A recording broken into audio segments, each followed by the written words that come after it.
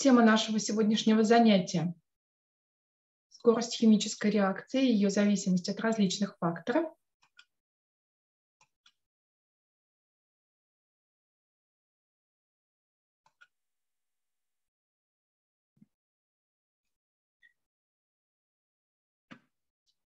Наука, изучающая закономерности протекания химической реакции во времени – механизмы химической реакции, а также фактор, влияющий на скорость химической реакции, называется химическая кинетика.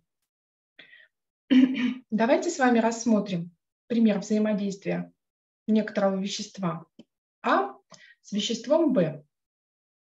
И на оси координат по Y отложим энергию этой реакции, а на оси X координаты реакции. Для того, чтобы образовался продукт B, исходное вещество А и Б должны преодолеть определенный энергетический барьер. Это положение характеризуется своим значением энергии активации, то есть на вершине кривой показано переходное состояние, здесь еще нет вещества В, но уже нет вещества, вещества В, но уже нет вещества А и Б. Это состояние существует очень короткое время, после чего уже образуется продукт вещества В. В. Если значение энергии активации мало, то скорость реакции будет высокой. Если значение энергии активации большое, то реакция будет протекать медленно. Известно, что некоторые химические реакции протекают очень быстро, например, реакции, сопровождающиеся взрывом, а разрушение, например, горных пород или образование глины, они протекают очень медленно. Одной реакции требуется для завершения микросекунды, а другой – миллионы лет. А, почему так? Термодинамика на это ответить не смогла, а вот химическая кинетика, она учитывает время скорости, она на этот вопрос смогла ответить. Что же такое скорость химической реакции? Количественной характеристикой быстроты протекания химической реакции является скорость химической реакции, которая обозначается латинской буквой В. Это изменение количества одного из реагирующих веществ в единицу времени, в единице реакционного пространства. Знак плюс, если изменение числа молей относится к продуктам реакции, знак минус, если мы отслеживаем изменение числа молей исходных веществ. В зависимости от области протекания химической реакции различают гетерогенные и гомогенные реакции. Если мы рассматриваем скорость для гомогенной химической реакции, то можем сказать, что скорость равна изменению концентрации веществ в единицу времени. Примером гомогенной реакции может служить реакция взаимодействия водорода и хлора. Гетерогенная реакция, когда химическая реакция происходит на границе раздела фаз, определение скорости химической реакции связано с условиями ее проведения. Если мы с вами рассматриваем скорость, еще раз, для гомогенной реакции, то она определяется как изменение концентрации вещества в единицу времени и измеряется моль на литр. Пример представлен внизу взаимодействия молекул водорода и хлора под действием света. Эта реакция происходит во всем объеме газовой фазы. Если же у нас гетерогенная реакция, для гетерогенной реакции скорость определяется изменением количества вещества в единицу времени на единицу реакционной поверхности. Примером может служить взаимодействие мрамора с раствором соляной кислоты который протекает на поверхности мрамора. На скорость химической реакции оказывают влияние различные факторы. Это и природа реагирующих веществ, площадь поверхности соприкосновения реагирующих веществ, концентрация реагирующих веществ, температура, давление и катализатор. Рассмотрим каждый из факторов более подробно.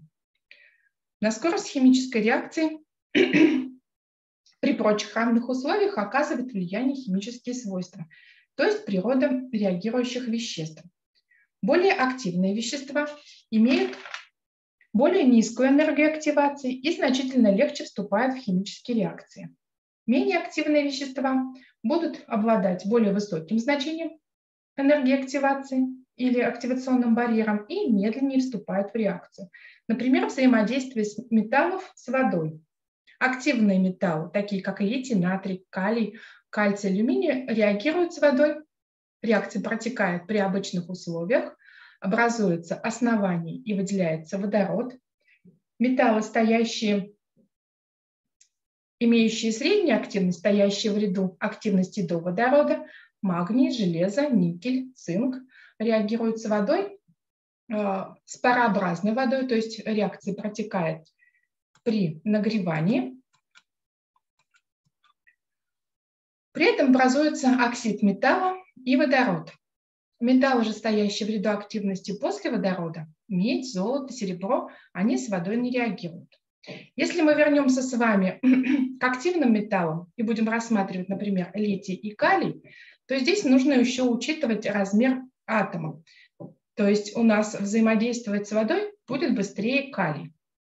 Также если мы будем брать, например, э, средней активности магний, и его взаимодействие с серной кислотой или, например, с уксусной кислотой, то, естественно, взаимодействие э, с серной кислотой будет протекать быстрее, поскольку она сильнее по сравнению с уксусной слабой кислотой. То есть здесь происходит зависимость, рассматривается зависимость скорости реакции от природы реагирующих веществ.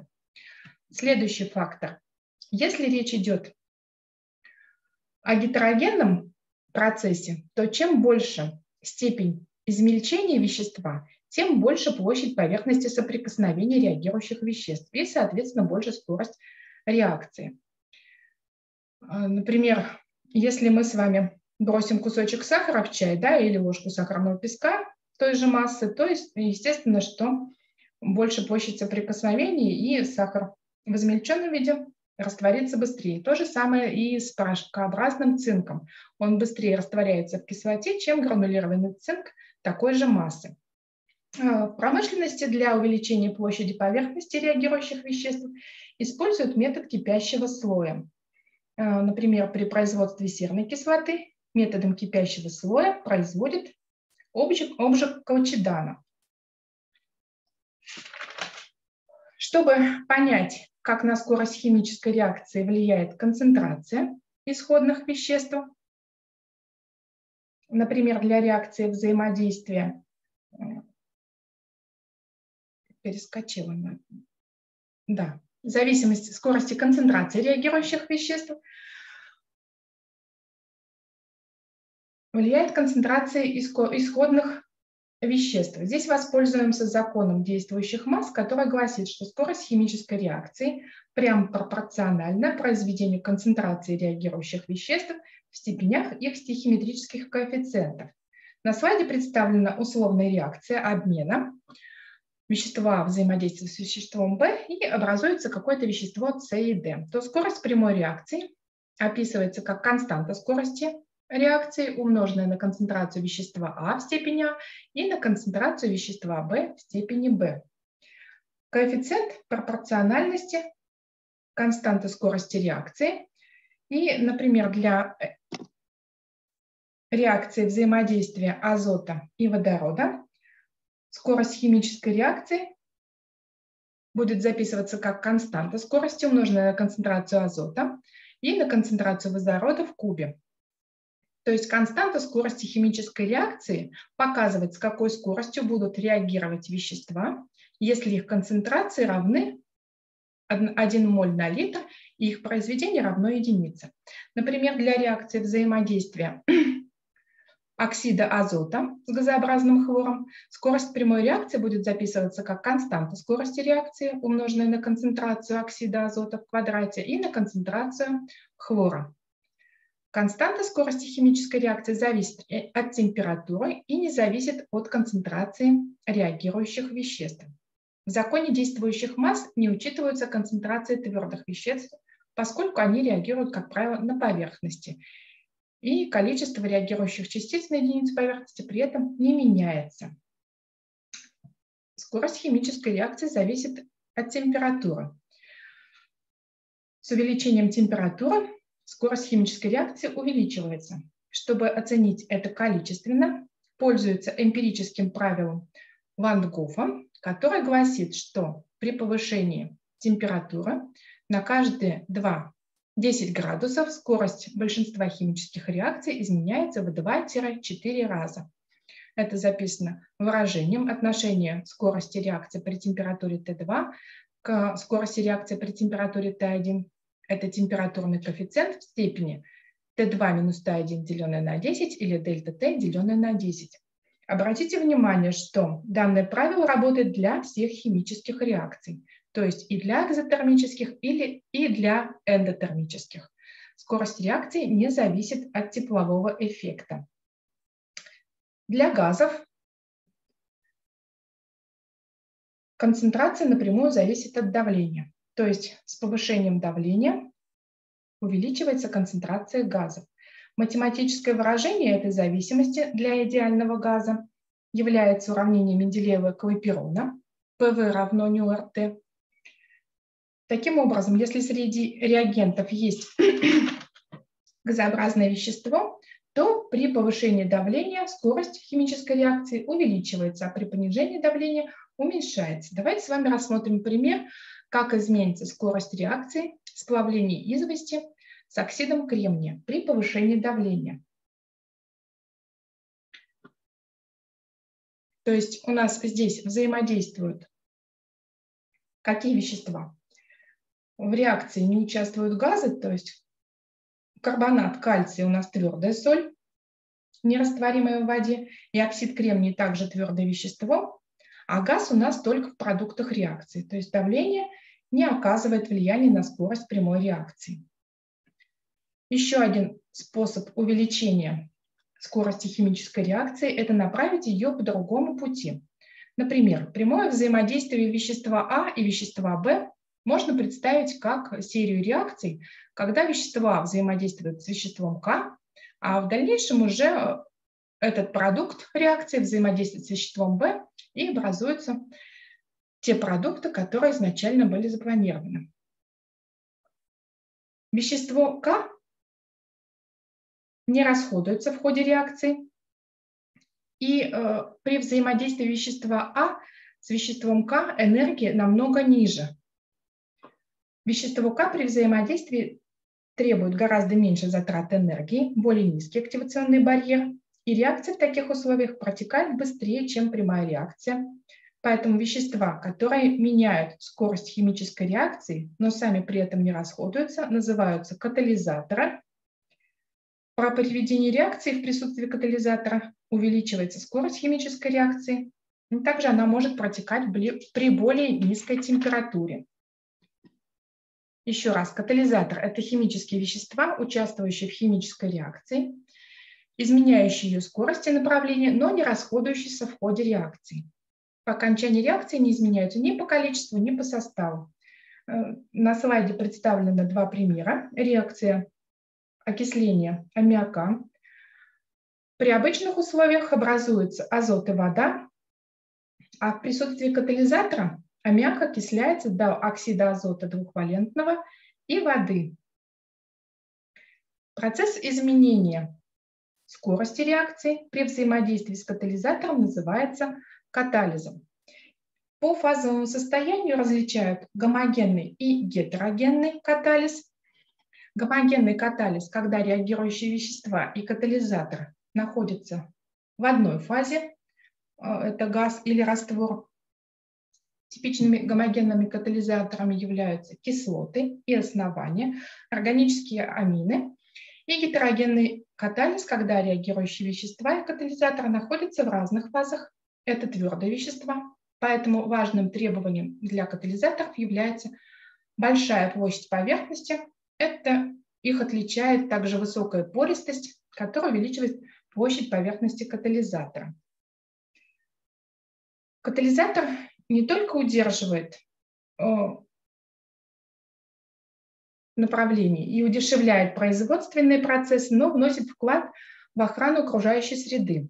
Современные автомобили, они э, снабжены каталитическими устройствами, внутри которых находятся керамические ячейки – носители катализатора платины или родия, проходя через которые вредные вещества превращаются в углекислый газ, азот и воду.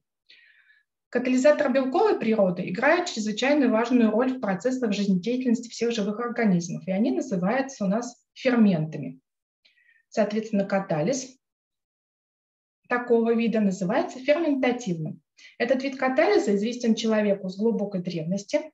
Благодаря ферментативным реакциям расщепления органических веществ человек научился печь хлеб, изготавливать сыр, Например, в стиральном порошке у нас также используются ферменты, которые позволяют избавляться от пятен.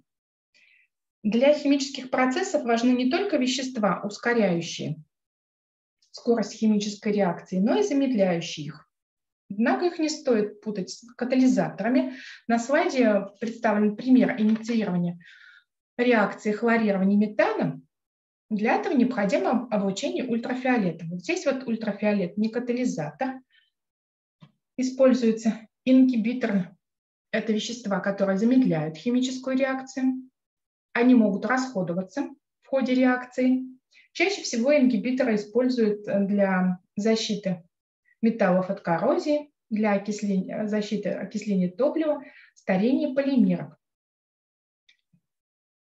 Давайте с вами сейчас подведем небольшой итог, от каких факторов у нас изменяется скорость химической реакции.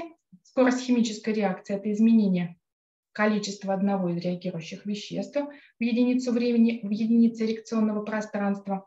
На это влияет природа реагирующих веществ, площадь поверхности соприкосновения реагирующих веществ, концентрация реагирующих веществ, температура, давление и катализатор. Прошу вас э, сейчас активно работать отвечать на задания в чате. И наше с вами первое задание из предложенного перечня внешних воздействий выбрать все воздействия, которые приводят к увеличению скорости реакции. Реакция взаимодействия метана с кислородом образуется углекислый газ и вода. И предложены следующие факторы. Это увеличение концентрации кислорода, понижение температуры, увеличение концентрации углекислого газа, понижение давления и добавление катализатора.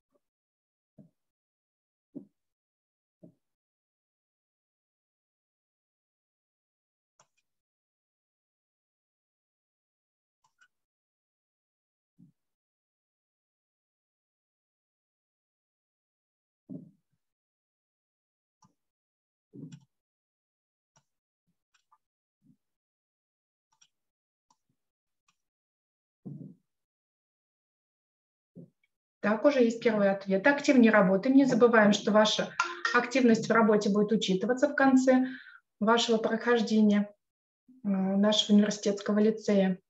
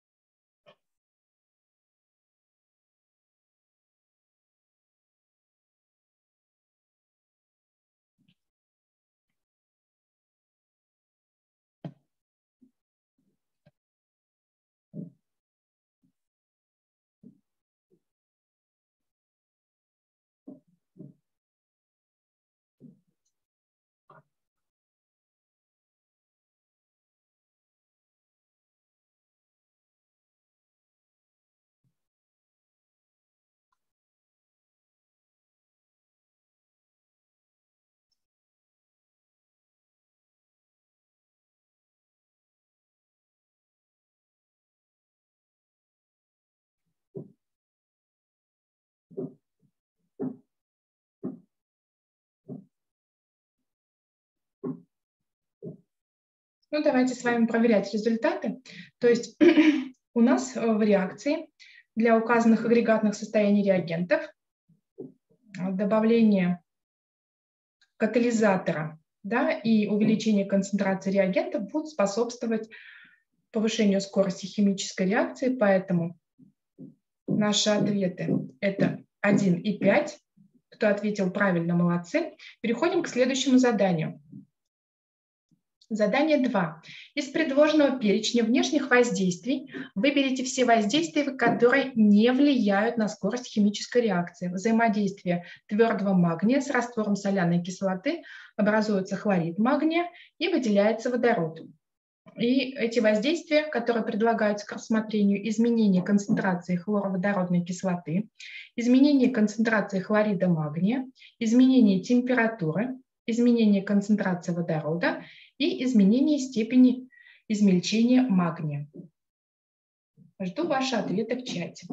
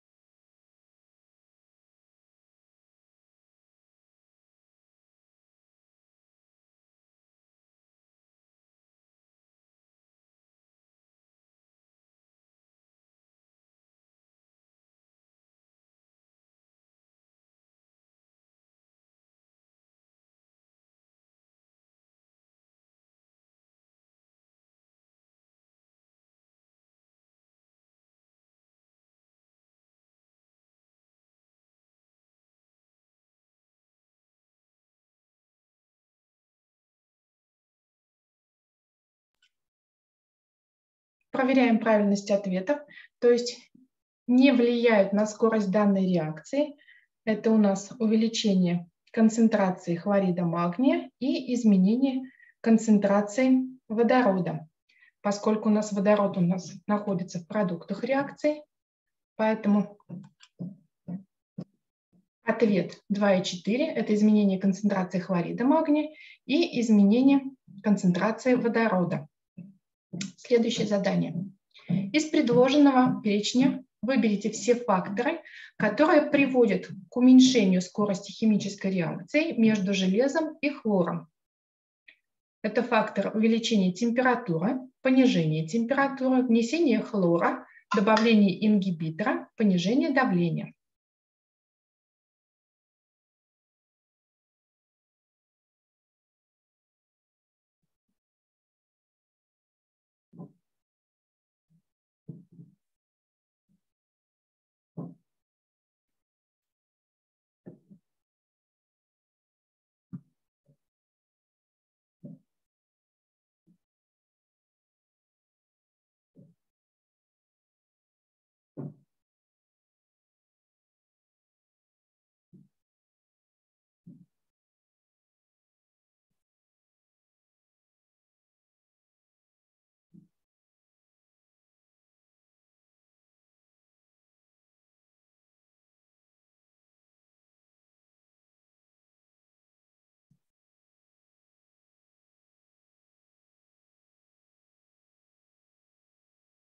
you.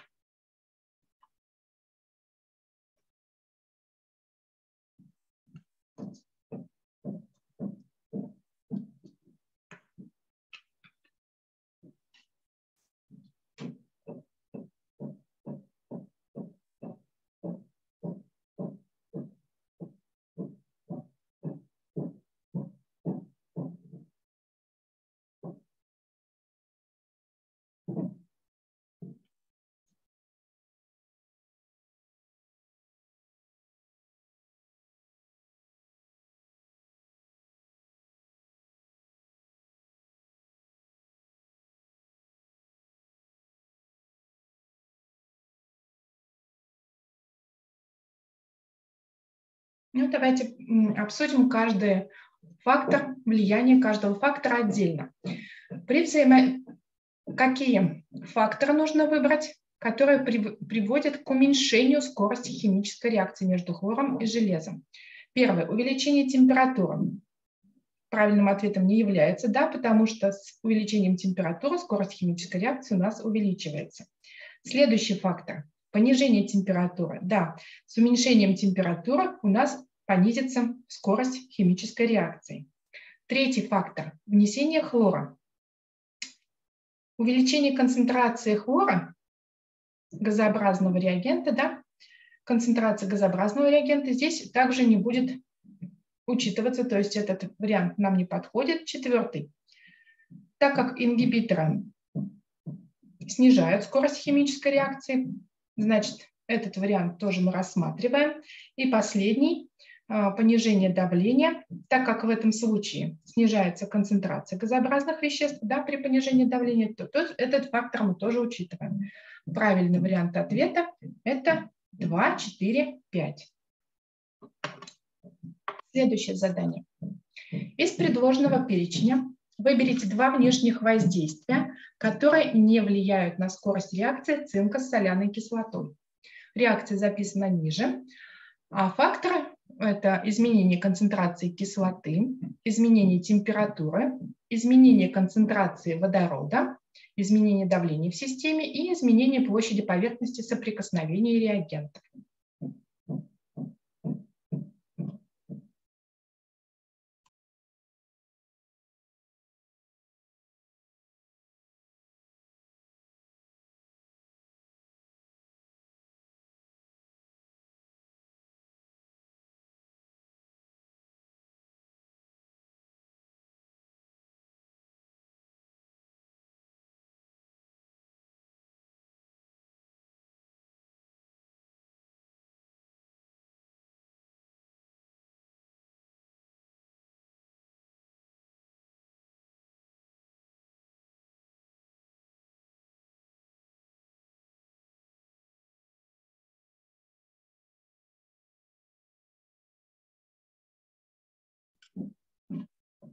Вижу, что все активно работаете. Ответы у всех правильные. То есть это ответ 3 и 4.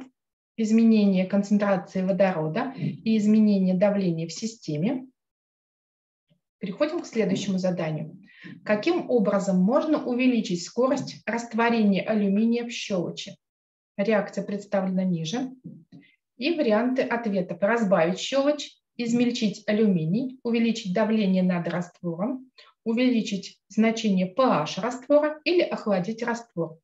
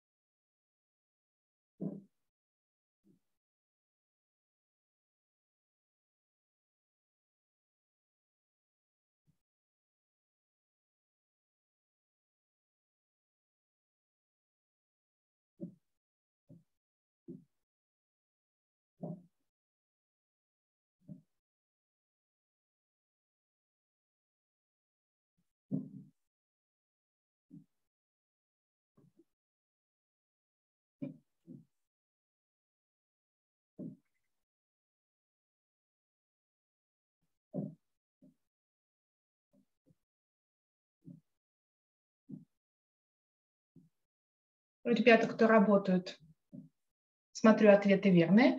А, да, действительно, измельчение алюминия у нас приведет к увеличению площади соприкосновения и повышению скорости химической реакции. Это ответ 2. И ответ 4. А, увеличение pH раствора у нас приведет к увеличению концентрации гидроксид-ионов и скорость реакции у нас увеличится. Следующее задание. Какие факторы не влияют на скорость растворения твердого карбоната кальция в соляной кислоте? Реакция представлена ниже, а факторы – это степень измельчения карбоната кальция, концентрация кислоты, температура, форма реакционного сосуда и давление над раствором.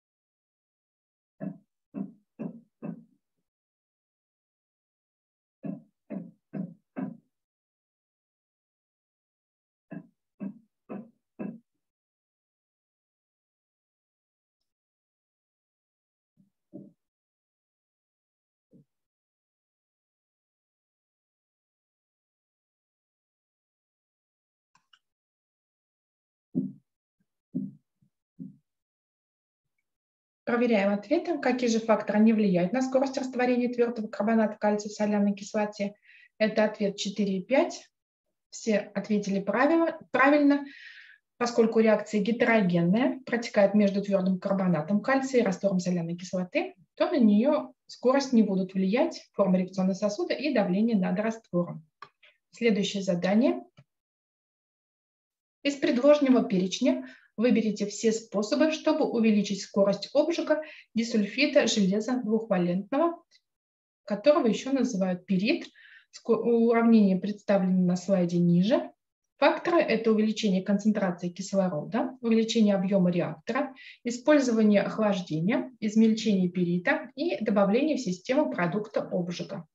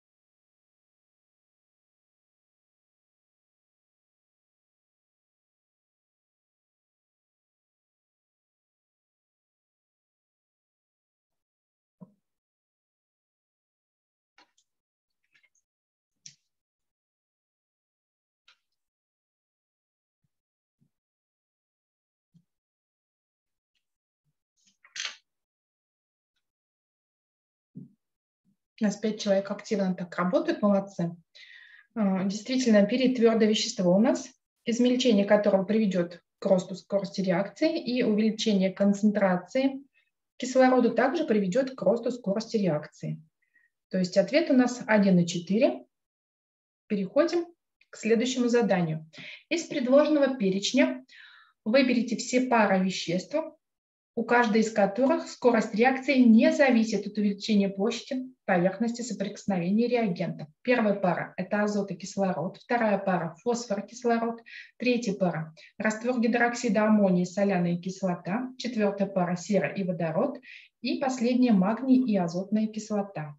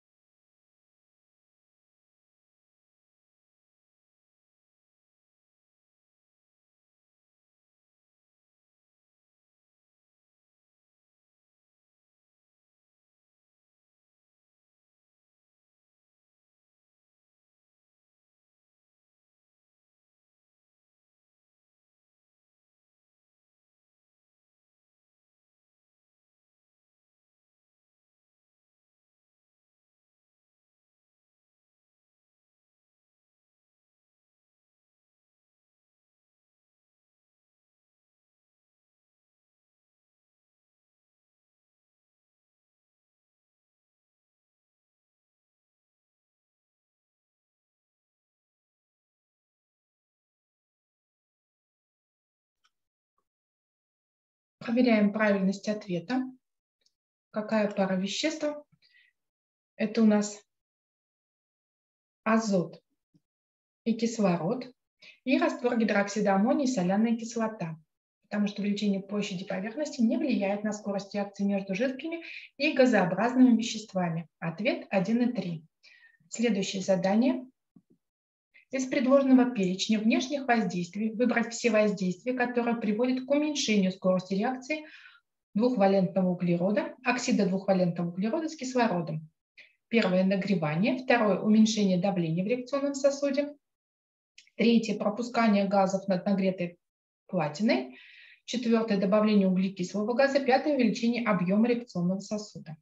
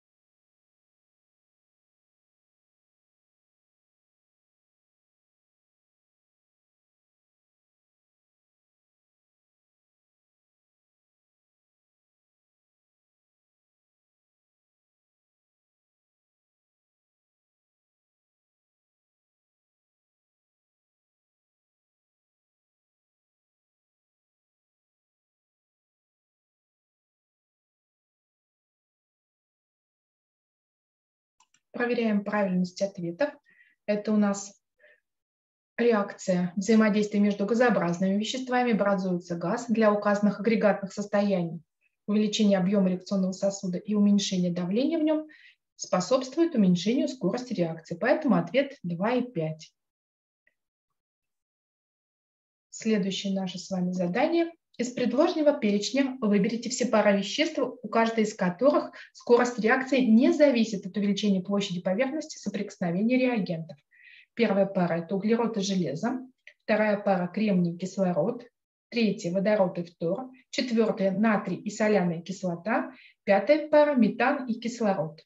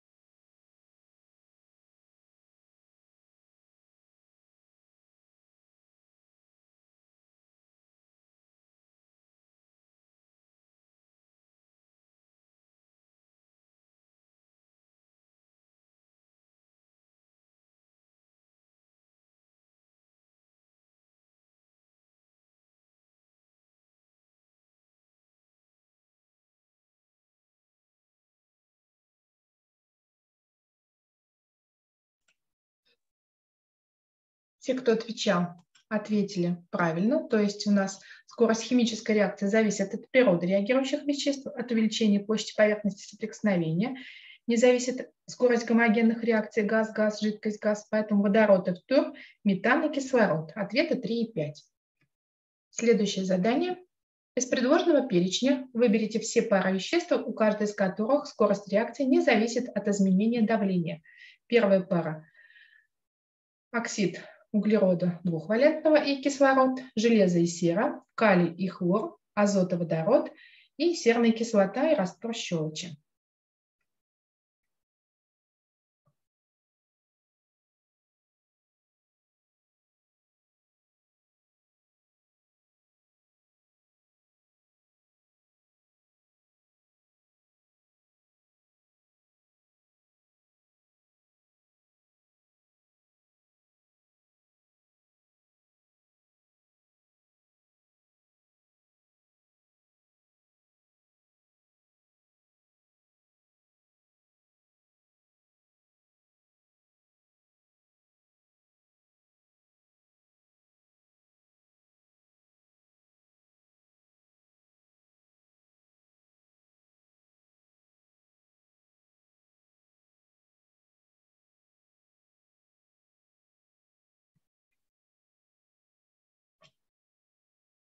Проверяем правильность ответов.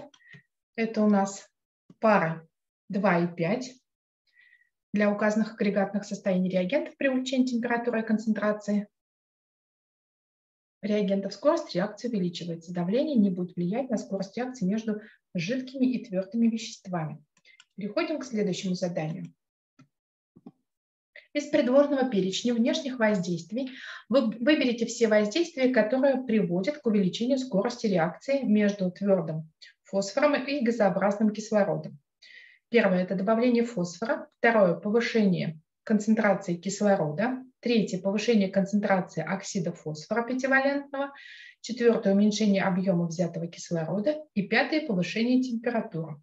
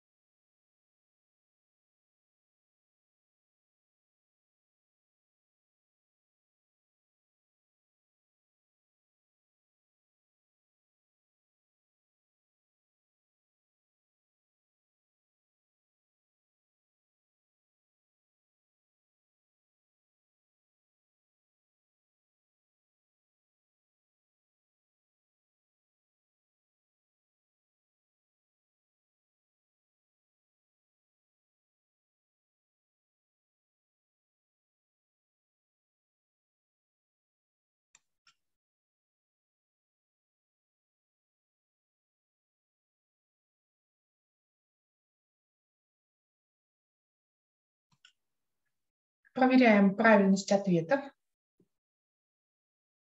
для указанных агрегатных состояний реагентов.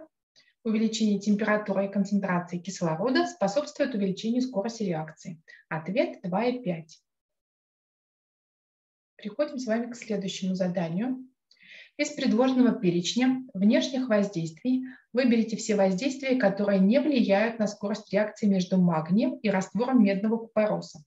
Первое – это изменение концентрации соли, изменение температуры. Третье – изменение объема реакционного сосуда. Четвертое – изменение площади поверхности соприкосновения реагентов. И пятое – изменение давления.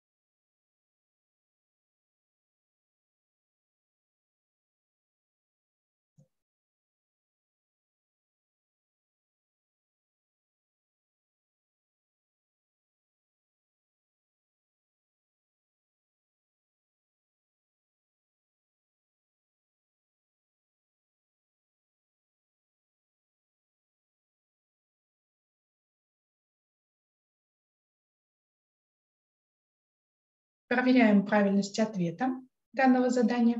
Это ответ 3 и 5. То есть скорость химической реакции зависит от природы реагирующих веществ. Изменение объема и давления не влияет на скорость химической реакции между твердым веществом и раствором. Следующее задание. Из предложенного перечня выберите все способы увеличить скорость реакции гидролиза сахароза. Первое – это нагревание. Второе – разбавление раствора. Третье – добавление кислоты. Четвертое – добавление глюкозы. И пятое – это увеличение давления над раствором.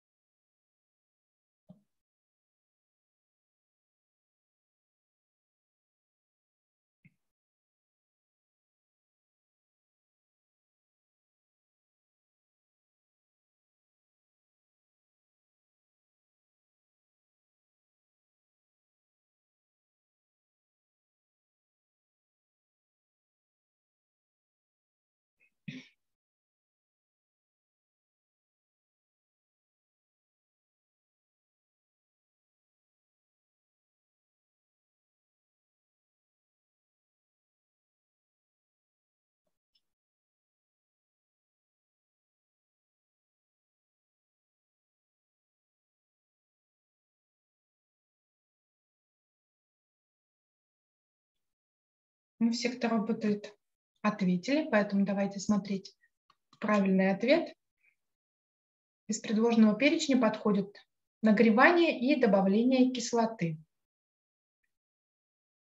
Скорость реакции зависит исключительно от концентрации сахарозы. И увеличение скорости способствует повышению температуры, использование катализатора в данном случае это может являться кислота, и измельчение реагентов, если есть твердое вещество. Ответ 1 и 3.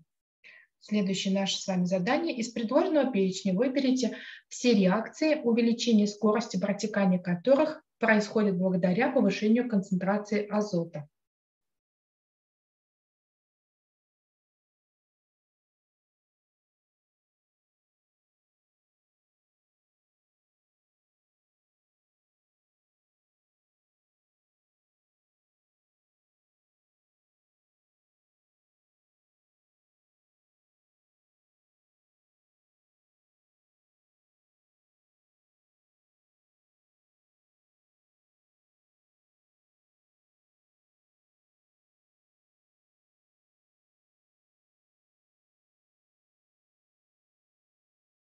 Все, кто участвует в решении заданий, все правильно ответили, потому что концентрация азота способствует увеличению скорости реакции только первой и третьей, где у нас азот находится в исходных веществах, в остальных реакциях у нас находится в продуктах реакции.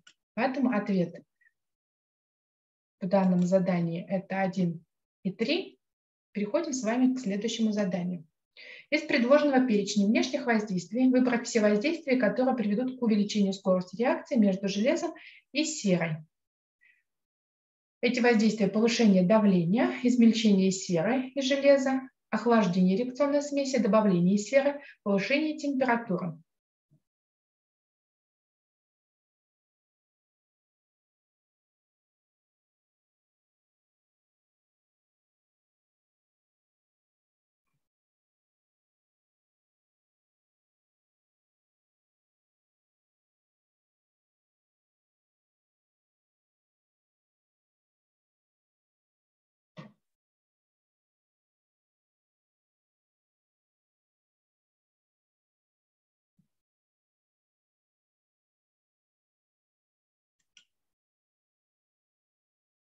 Все, кто отвечал, ответы правильные. Да, это измельчение сера и железа и повышение температуры.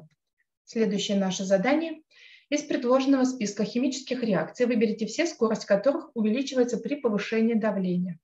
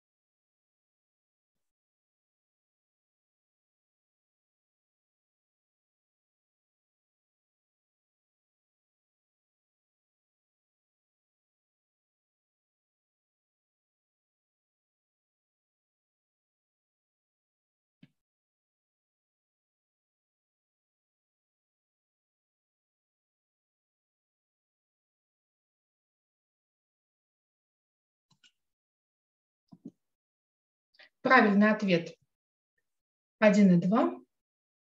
Скорость реакции при повышении давления увеличивается в первой и во второй реакции, где у нас э, газообразные вещества. Все, кто участвовал, правильно ответили.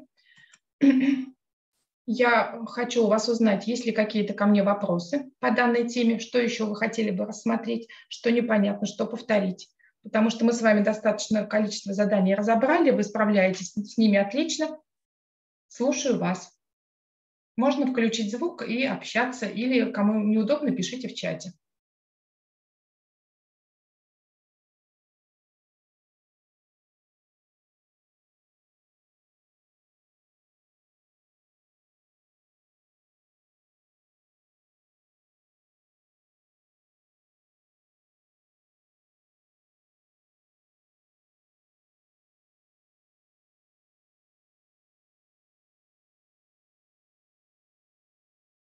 Но если все понятно, запись вы можете еще раз все посмотреть, для себя еще раз освежить в памяти. Но судя по тому, как э, пять человек активно работал, ответы у всех правильные, приятно было с вами работать, тогда до свидания.